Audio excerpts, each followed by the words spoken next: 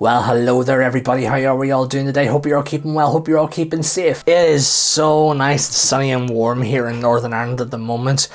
So much so that I have the curtains closed because we gotta get the videos looking dark and edgy, don't we? But yes, how you all doing? Hope you're all keeping well, hope you're all keeping safe. If you've been a follower of the channel as of late, you will have seen that I've been sharing more and more content about my main field of photography, which is music photography, where I've been sharing advice, tips and tricks, and general settings, so on and so forth, about a subject that I have worked on for quite a long time. Well, it feels like a long time. Some paper round, I tell you. But to say I have been blown away from the response relating to those videos is the understatement of the century. So thank you all so much for taking the time to check out me waffling along about something that I've done for quite a number of years now. You have no idea how much it means to me. Thank you so much. And of course, if you are new to the channel here, hi, my name is Marc. I'm a photographer from Northern Ireland, sharing photography related content from tips and tricks, editing, all sorts here. So do take the time to check out the channel and while you're there you can like, share, subscribe and hit the wee bell icon so that you can stay up to date with future videos. It's safe to say I have had a lot of amazing moments working in music photography, shooting some of my favourite bands, having a lot of amazing memories and moments where I actually share one of them in the video in the top right hand corner there but I've also had some not great experiences along the way that have helped me learn as a photographer and a person working within this field and that's kind of why I wanted to share this video. I want to just share things that you can avoid if you want to step into music photography that'll not only help you as a photographer but as a person because remember I, I do talk about this quite a lot that people yes do love your photos but they also love you. They hire you for you. And if you follow along with some of these things, they'll help you get more and more gigs. Promoters will start to like you, managements will start to like you because doing these things help your character and what people see in you. This video is all about avoiding these music photography mistakes. Don't get me wrong, I've done many of these things over the years and I still do today. So yeah, we're all just gonna learn together. Biggest thing that you want to avoid within music photography is being underprepared or unprepared at all. And I'm not just saying, oh, I forgot to bring my camera or lens or memory cards or anything like I'm more talking about when you actually get to the gig itself. So you go down to a concert, you've been granted a photo pass, you go in and shoot the gig, but before you even get there, well, whoever you've applied through whether it's a say a publication or through the band management that gets you the photo pass well you kind of want to have that confirmation beforehand. So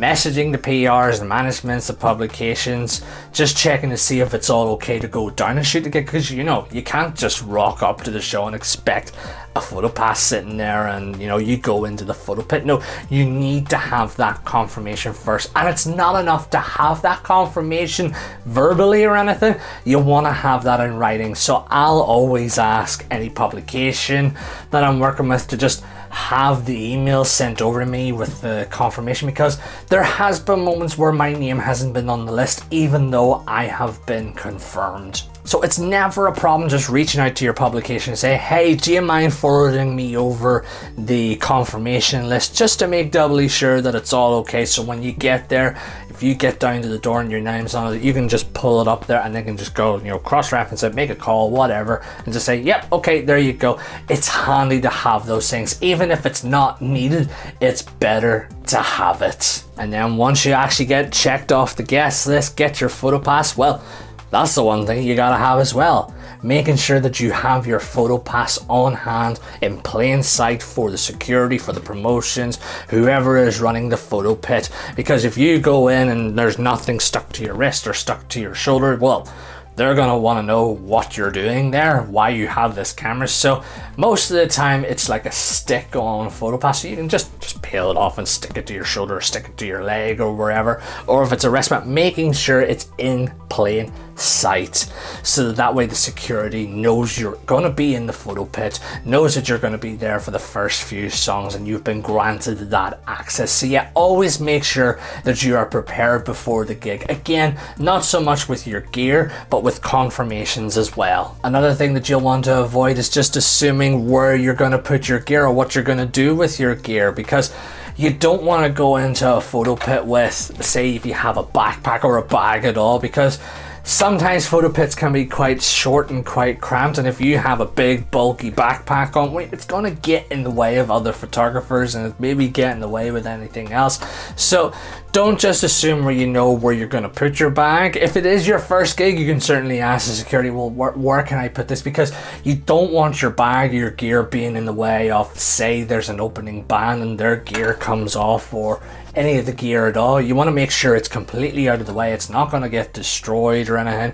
You want to make sure it's in a nice comfortable spot that not only is being protected by the security, but is also within eyesight for you so that way you can quickly get to your bag. I've seen moments where photographers have just literally dumped their camera bag in the middle of the photo pit and safe to say I was really annoyed whenever I seen that. So much so that I went up, picked the bag and chucked it over to the side. So I have. But yeah, you want to make sure where you're putting your gigs. So don't just dump anything willy-nilly. Just make sure you're putting it away safely and that security are happy enough with where you're putting it. This also kind of falls in line with what I want to talk about next and that is avoiding being disrespectful. Now, it's easy to miss what's going on within an area because there's so much going on. But if you're walking into a show acting like Billy Big Balls and just acting like a, you're the best thing since sliced bread, well, safe to say you're not going to get into the pit or you might not get access into pits after that so you want to start being respectful towards your surroundings and when i what i mean by that is being respectful to the security, the management, the promoters. If you're on the guest list at the door, don't just assume that you are on the list. You know, have again going back to that confirmation. Just instead of go, well, my I, I had confirmation, and you know don't act like it. Just say, yeah, okay, I have my confirmation here, show it off. Then when you enter into the show and at security tell you where you go, how many songs you're allowed to be there, you know, saying things like, yeah, no problem. Then when you actually get shooting as well, having respect for the people around you, and that is other photographers and most importantly, the crowd. Other photographers are going to be working within the pit. You don't want to be like elbowing or bashing people. It's really easy to get doing that, and we all do it by mistake. I've done it many a times, but you don't want to intentionally just elbow somebody out of the way just because you see a shot or anything. We're all working together. There shouldn't be any feuds or any competition or anything like that. So just be respectful to other photographers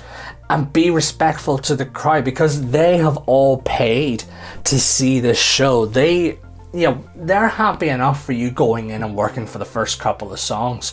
But when you're in the pit, don't obstruct their view too much. Like, say, for example, if there's a barricade, try not to stand on the barricade just to get, because again, you're, you're blocking people's shots.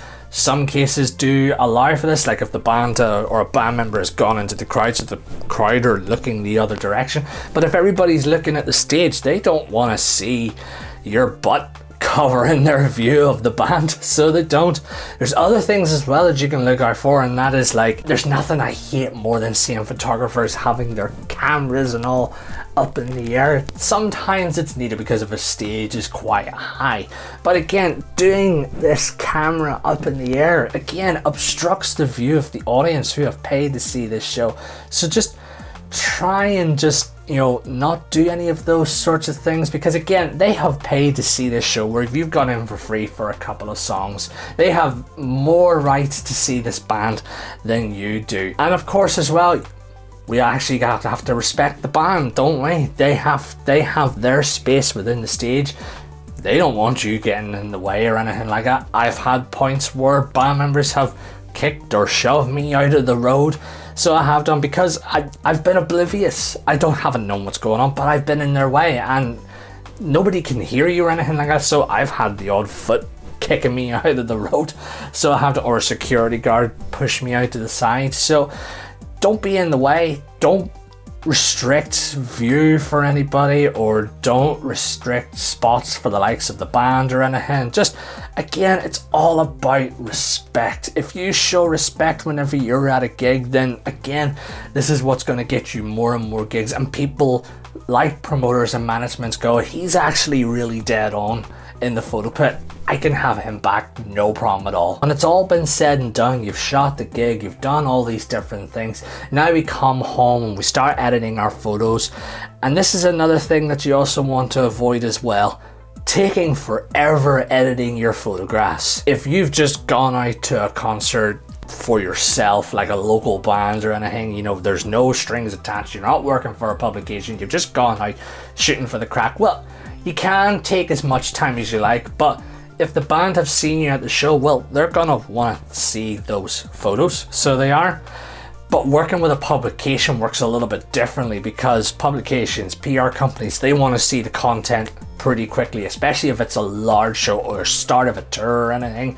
So a lot of publications will generally give a 24 hour, maximum 48 hour turnaround time for photographs. And it's fine to want to put your own style on a photo and all here and there, but don't take forever editing.